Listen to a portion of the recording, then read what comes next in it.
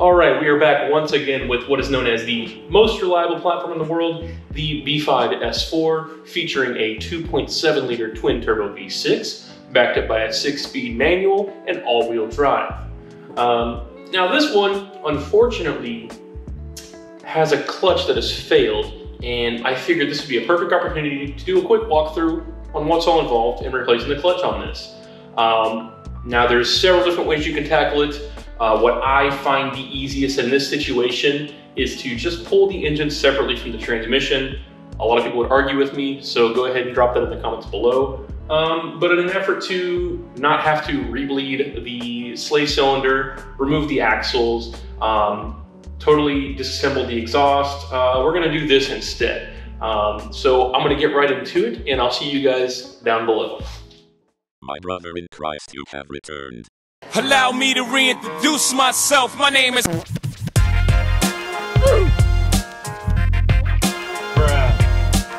guy zone. Please clap. There you go, Terry. What in reverse, Terry? Man, I'm finna whip this hoe.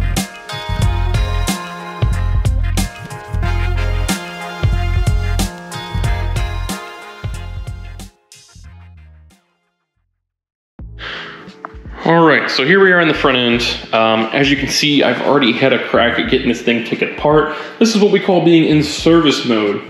Uh, maybe service plus since I've got the core support fully removed. Uh, but this gives us access to everything we need to pull the engine from the front of the vehicle.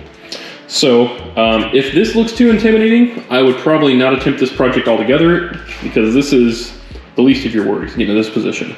So once we drained out the coolant, got the core support off, what we're gonna do now is go behind, unbolt the downpipes, unbolt the engine mounts, disconnect fuel lines, coolant lines, uh, power steering lines, and uh, lift this thing out all together. Should be pretty quick.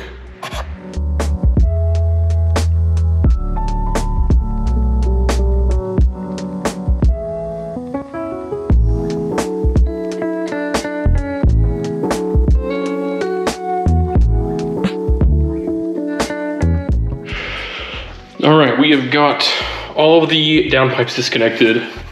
I've got all of my transmission bolts.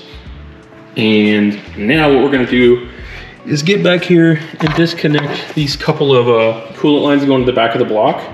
Disconnect this to separate the power steering system, undo the wiring harness, undo the motor mount bolts, and we should be able to lift this thing out and start pulling it forward.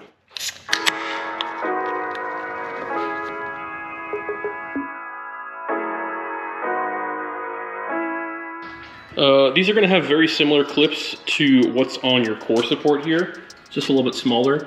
Um, so keep track of these or else your hoses will not go back on correctly.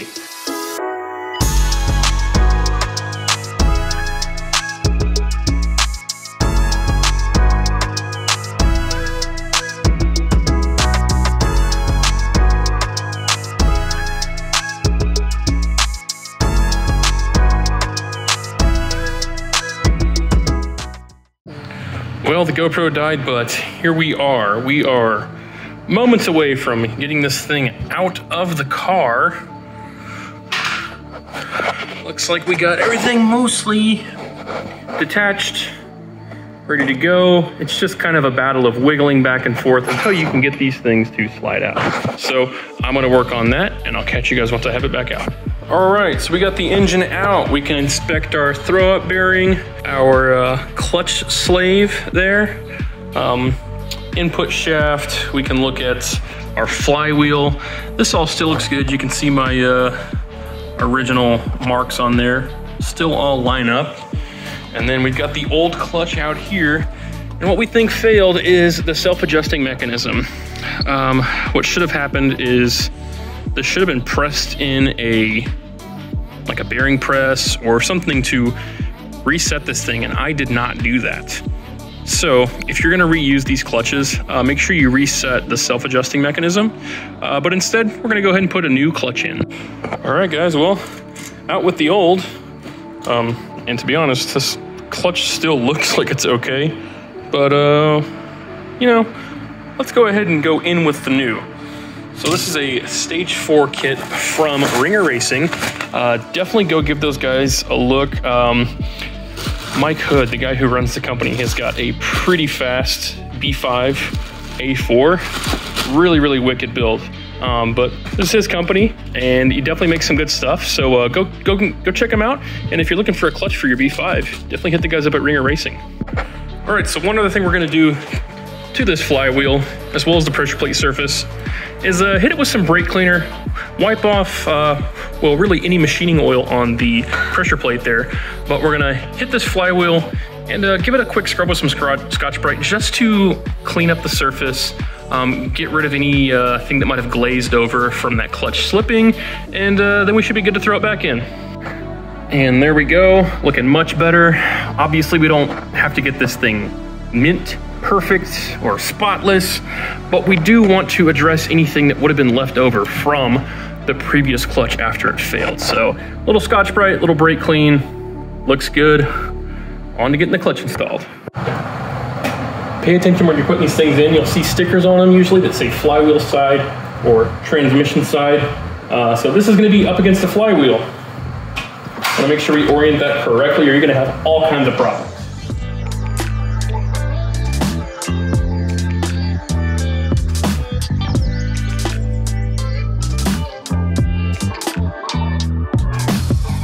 When you're doing this, try to make sure to tighten the bolts a little bit at a time, all the way around. Um, because remember, this, this pressure plate here is spring loaded, and you don't want to load one side of the spring way more than the other one, and potentially get this thing on crooked.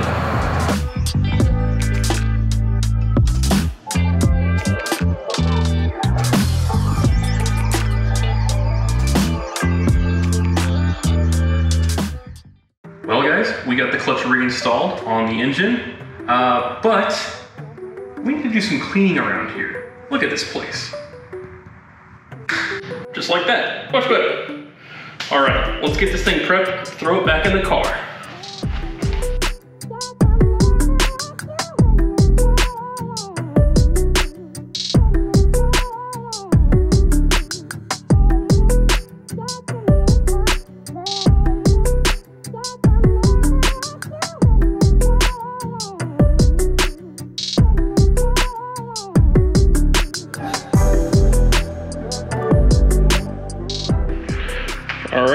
We got this thing dropped back in here.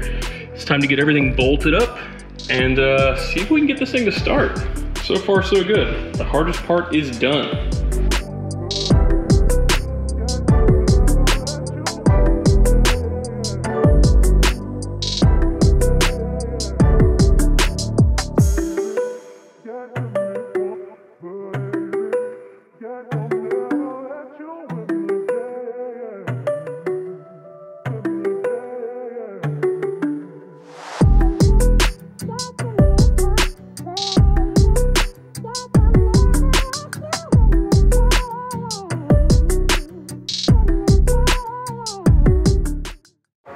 We are just about ready to fire this thing up. Um, pouring in some coolant right now, and then uh, we're gonna go inside, turn this thing on, check for leaks, and start bleeding the system. So let's go do that.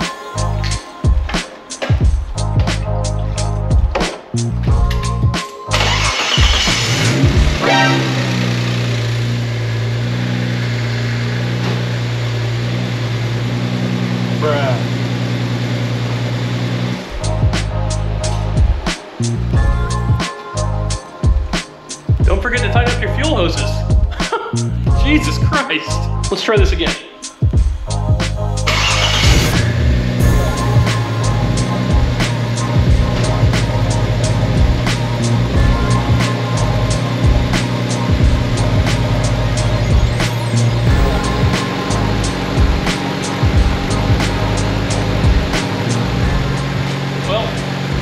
I got a little hasty with the coolant, but uh, we're gonna let the system bleed down. Had to pull the overflow hose up here so it stopped draining out. Uh, but so far, everything looks, sounds good. Got a little smoke from the uh, coolant, but uh, that's all I'm seeing so far. Got no other leaks. Everything else is looking really, really tidy under here. So uh, I think that's good. I'm gonna let it run for a little bit, warm up, get up to temp, and then uh, we'll shut her down, take it out on the road.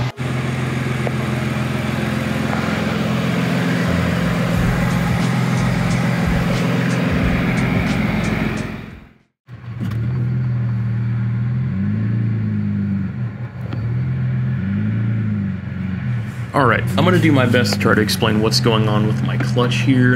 Um, it seems that while it is grabbing okay while I'm driving, if I depress the clutch pedal all the way, it will either lock me in or out of gear, and the car will actually start to creep forward uh, while it's in gear if I depress the clutch all the way. Now, my first thought was to bleed the clutch, so we're going to go ahead and do that in the video, uh, but I get into more of the discussion I have with Mike Hood about what could be going on with the pressure plate and the TTV flywheel setup I've got, so let's go ahead and jump to that. Okay, it's a new day, a lovely rainy day outside here in Virginia. Uh, we got the car put back together yesterday, got it on the road, did some test driving, uh, and I think I need to bleed the clutch again.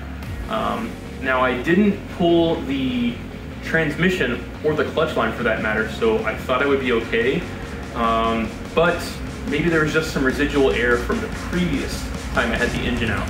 So I'm going to use my trusty MityVac today to show you all the best way to get all the air out of your system. So let's go ahead and do it. All right, so I know the lighting isn't great in here, it's gonna be a little hard to see, uh, but to access your clutch slave cylinder, you're gonna have to get your hands deep down in here and uh, access a small nine millimeter bolt. Now on mine, it's an 11 millimeter because I've upgraded to the uh, metal slave cylinder uh, that was common on some older chassis. So if you want to get rid of your troublesome plastic slave cylinder, uh, this is an easy bolt-on upgrade. So I'm gonna have to remove some of this stuff, get it out of the way, and then I'll see if I can get you guys a shot down in there and show you exactly what I'm talking about.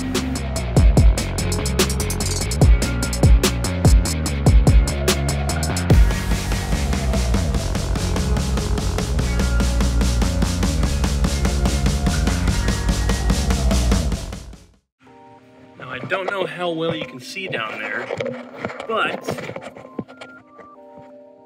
this guy right here. You see them? That's the one we gotta loosen. So on there, it's an 11 millimeter nut for me. If you have the plastic one, which is very brittle, it's a nine mil. So we're gonna snake our hose onto the nipple there, break it loose, and then run it up to our MityVac here up top. All right, so I've got my MityVac set up here.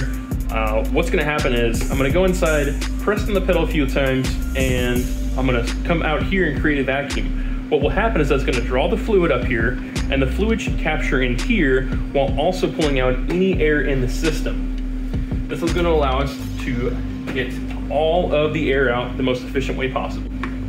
Oh yeah, you see all that air coming out? Look at all the air coming out of here. All right, so I'm gonna keep leading this, make sure I got a good fit down there, and uh, I'll meet you guys back once I'm done. All right, guys, the car is cruising pretty well. Um, no major issues. We rebled the clutch and actually spoke with Mike from Ringer Racing, and what he suggested is that some of the TTV flywheels, the the height on them might be a little shorter, and what that causes is when the clutch is fully depressed, uh, the actual fingers of the pressure plate are pushing down on the clutch, causing it to start to grab again. And this makes a lot of sense when you consider the way the pedal is feeling uh, as I do that. Uh, it definitely mimics exactly what he was saying, and I think that is probably what's going on. Uh, so, in the meantime, I fitted a kind of makeshift clutch stop to give me about uh, three quarters of an inch or so of, of no travel on the bottom part of uh, the pedal. So that seems to have done it. I might try to add some height to that, just a little bit, um, but I also don't want the clutch kill switch to uh, to not work anymore. Guys, this thing is cruising, absolutely flawless. Forgot how much I love this uh, color MFA display. No problems at all. Got the cruise control on, heat's going. It's a nice rainy day.